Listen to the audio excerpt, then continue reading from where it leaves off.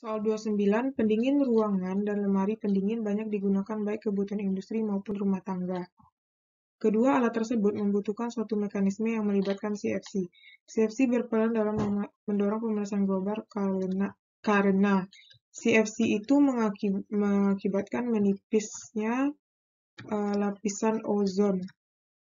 Nah, di, di mana dia itu juga uh, menipisnya ozon itu karena memerangkap memerangkap sinar UV agar tidak kembali ke angkasa ya. Jadi jawabannya adalah yang E.